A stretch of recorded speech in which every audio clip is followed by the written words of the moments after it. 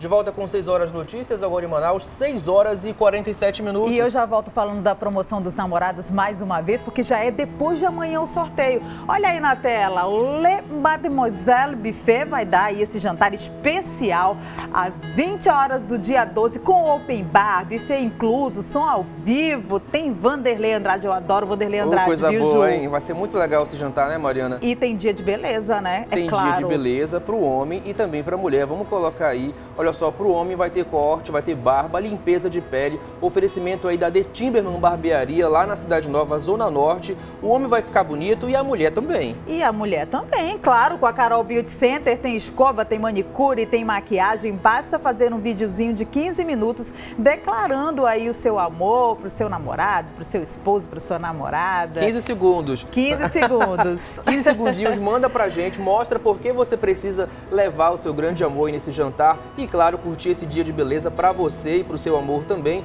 Dois casais vão ser contemplados já na quarta-feira agora vai ser o resultado da promoção.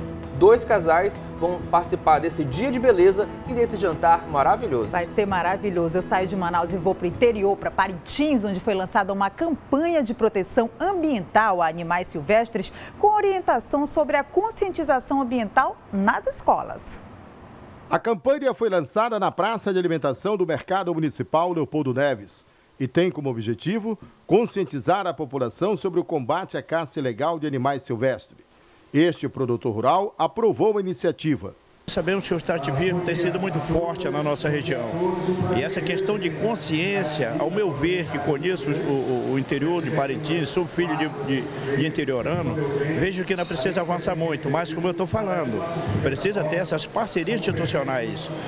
O IPAM sozinho não vai abranger, o IBAMA sozinho não anda, acredito que é hora de a gente andar junto. O, instituições voltadas para a educação do campo. Durante toda a semana, técnicos do Instituto de Proteção Ambiental do Amazonas realizaram um ciclo de palestra nas escolas, como trabalho de conscientização no combate à caça ilegal.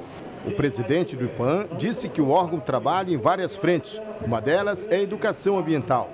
Isso, o IPAM ele, ele trabalha em três grandes, aliás, quatro grandes vertentes. É o órgão licenciador, é o órgão fiscalizador, monitorador e também facilitador do processo de educação ambiental. Ah, então, a, a, e o papel da educação ambiental, ele vem na outra linha da repressão, né, da repreensão, que é o papel educativo, pedagógico. O secretário de Meio Ambiente do Estado considerou o lançamento da campanha um sucesso. Prazer nosso estar aqui trazendo a mobilização do Junho Verde, um mês dedicado ao meio ambiente, trazer aqui para Parintins e passar uma informação tão importante sobre o consumo de caça ilegal, que é um crime ambiental. De Parintins eu vou para Tabatinga, onde mais de 3 toneladas de pirarucu foram apreendidas. Vamos ao vivo com a Meixa Piama, que tem os detalhes na tela para gente. Pois é, Mariana, essas 3 toneladas de pirarucu foram apreendidas no Alto Solimões durante uma operação conjunta da Polícia Militar, Exército Brasileiro e FUNAI. Todo esse pescado estava dentro de uma embarcação próxima a uma comunidade conhecida como Ticuna de Belém dos Solimões, que fica ali próximo ao Alto Rio Solimões. Duas pessoas, dois homens foram detidos e encaminhados para a delegacia. Chegando lá, eles foram indiciados por crime ambiental e em seguida foram liberados para responder esse crime em liberdade. Mas continuando em ocorrência policial, ontem um crime meio atrapalhado, viu, Mariana? Porque um culpassa acabou executando outro colega durante um crime encomendado. O que, que aconteceu? O Rosivan Braga é, realizou um assalto e depois de um tempo ele foi levado para uma área de mata ali atrás do colégio agrícola. Chegando lá, ele suspeitou que ele seria assassinado e acabou correndo. Ele levou ainda um tiro nas costas. Quem correu atrás dele foi o Igor da Silva, de 18 anos, que tentou ainda evitar a fuga do Rosivan, só que o Rosivan acabou é, dando um tiro na cabeça dele e ele morreu ali mesmo no local. Depois disso, o Rosivan Braga fugiu e abandonou a arma do crime ali naquela área de mata. Para você ver, Mariana, Juliano, que nesse mundo do crime não tem amizade, como sempre eu digo. E um trio suspeito de ser integrante de uma facção criminosa que atua aqui no estado foi preso no bairro Lírio do Vale, na zona oeste de Manaus. Os policiais receberam uma denúncia anônima informando que dois irmãos estariam comercializando drogas ali naquela área. Os policiais foram até o local e chegando lá, eles ainda tentaram fugir da polícia, entrando para dentro da casa deles, achando que a polícia não ia lá. Só que os policiais foram até a casa desses dois irmãos e chegando lá eles encontraram a dona da casa e mais um menor de idade que estava embalando os entorpecentes. O menor foi apreendido e os dois irmãos foram presos e encaminhados para o 19º DIP, onde foram indiciados pelo crime de tráfico de drogas e corrupção de menores. Eles ficaram presos e estão à disposição da justiça. Essas foram as ocorrências policiais. Mariana, Juliano, eu volto com vocês. Obrigada, Meixa Piama, ao vivo. Juliano. Olha, agora a gente vai para Presidente Figueiredo, região metropolitana aqui de Manaus, que teve lá o encerramento da Semana do Meio Ambiente. Muito interessante. Essa semana acabou aí com a distribuição de várias plantas e sacolas de lixo que foram distribuídas aí no centro da cidade. Uma a uma, as plantas foram entregues para a população. Este agricultor optou por mudas de açaí, que serão plantadas no terreno da família. É muda de açaí, que eu tenho muita terra para reflorestar. Foram alunos da rede pública que arregaçaram as mangas e participaram da ação. Acompanhados por funcionários do meio ambiente, a meninada se envolveu com a cultura da preservação. Aprendi que as plantas são muito importantes para a nossa vida, que elas podem, elas podem fazer muito bem para a nossa vida.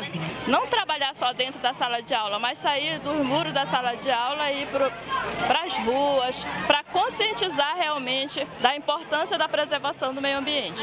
No trânsito, sacolas de lixos foram distribuídas. O pequeno Iglenso diz que vai colocar em prática o que aprendeu na escola. Gente, é o nosso planeta, a gente tem que sempre cuidar dele, não só cuidar no dia do meio ambiente, a gente tem que cuidar todo dia dele com muito carinho, muito amor, por causa que é o nosso mundo que a gente vive. Durante a manhã, mais de mil mudas foram distribuídas em Presidente Figueiredo. A iniciativa encerra as programações da Semana do Meio Ambiente. A Arquidiocese de Manaus festejou o Pentecostes 2019 na tarde deste domingo lá no Sambódromo aqui de Manaus. É isso aí, Mariana. Olha só, a pedido da Igreja Católica, os participantes levaram aí um quilo de alimento não perecível. De acordo com a Polícia Militar, cerca de 80 mil pessoas compareceram. A cruz revela a fé de um povo que não mediu esforços para demonstrar o sentimento de gratidão na festa de Pentecostes. Todos os anos eu estou aqui com a graça de Deus para receber essa luz do Espírito Santo. Pessoas de todas as idades e até mesmo quem estava em cadeiras de rodas celebraram a festa que acontece 50 dias após a Páscoa.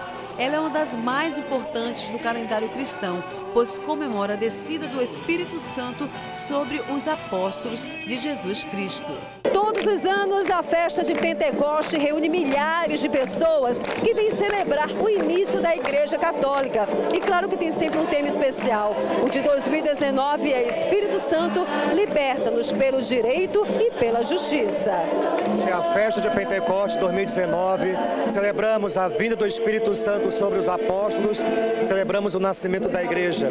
E hoje a igreja de Manaus está aqui para festejar essa força que vem do alto, essa força que vem do Espírito Santo. Ao longo do evento, tiveram apresentações como a do projeto ISA Ação e Proteção de crianças e adolescentes que sofrem violência sexual e dos cantores das etnias Saterete, Cuna e Cocama, que cantaram sobre a preservação. Nós, povos indígenas, lutamos para preservar a Amazônia, né?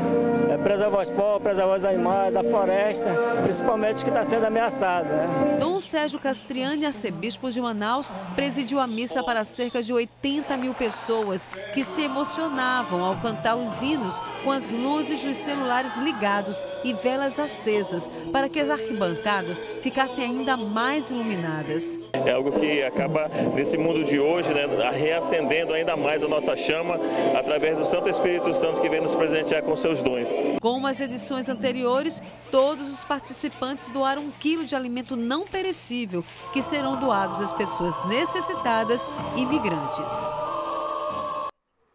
Bora falar de festa? Fim Vamos de lá. semana teve estreia aqui na TV em Tempo, viu, Ju? Exatamente. E Mariana Rocha acompanhou todos os detalhes e ela vai mostrar agora para você. Na Arena Amadeu Teixeira teve festa de pré-lançamento com muita dança, música e prêmios. Aê! Olha a alegria do pai que vai deixar o filho jogar videogame na televisão. Como é que tá essa festa aqui hoje, hein? Tá muito contagiante, estou gostando bastante. Divertido? Muito! O apresentador do Maninho Show, Márcio Braga, comandou a festa. Olha, Maninho, esse programa é a cara da gente. O programa Maninho Show, feito com todo o amor pra você, que entende mais do que eu de amazonês. E direto do programa da Eliana, Narcisa arrancou gargalhadas do público. Cuidado que ela beija na boca. Aí ele pegou no meu tarado. Ai, o maninho é maravilhoso, gente, ele é animado. A gente saiu pra jantar e ele foi me, me comprando os peixes pra gente comer. Só que chegou na hora, ninguém tinha o dinheiro pra pagar. Ah, meu Deus. Aí eu deixei ele lavando a louça, porque é a mula. Com um quilo de alimento não perecível, o público concorreu a prêmios como geladeira, fogão, micro-ondas e uma supermoto. Eu tava vibrando. Tô feliz, tô feliz. Teve ciranda, muito forró e quadrilha. O programa Maninho Show já aproximou o público e os artistas antes mesmo da estreia. Com muita alegria e descontração, é claro. Sábado, a estreia foi sinônimo de diversão nos estúdios da TV em Tempo. Os convidados chegavam a todo momento e eles estavam ansiosos. Arruma daqui, arruma dali, nada passou despercebido. E por trás de toda essa preparação, uma equipe empenhada em levar sempre o melhor aos telespectadores. Esse programa ele traz um mix de tudo que é bom no país. Ou seja, aqui a alegria vai imperar. É como o apresentador fala, esse é um programa G, de gente. Então as pessoas vão gostar, vão se divertir, vão rir e vão ganhar muitos prêmios inusitados. O Maninho Show é comandado pelo apresentador e humorista Márcio Braga, que vai esquentar as telas de sábado com muito humor. E ele garante que tristeza não vai ter vez por aqui. É um programa de alegria que eu acho que o povo precisa rir. Eu acho não, eu tenho certeza. E o nosso papel é esse aqui. Toda a equipe em prol da alegria. Logo que começou o programa, os convidados entraram em festa com o apresentador Márcio Braga. Na estreia, teve a competição de quadrilhas, gastronomia, show de calouros e muita música para animar ainda mais a plateia. Eu perguntei